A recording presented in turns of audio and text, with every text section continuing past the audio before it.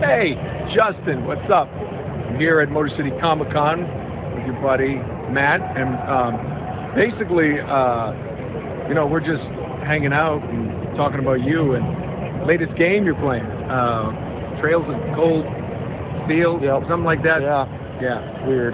Uh, and just from me uh, and your buddy here, we just wanted to say, please get bust, nerd. Seriously, go play Uncharted.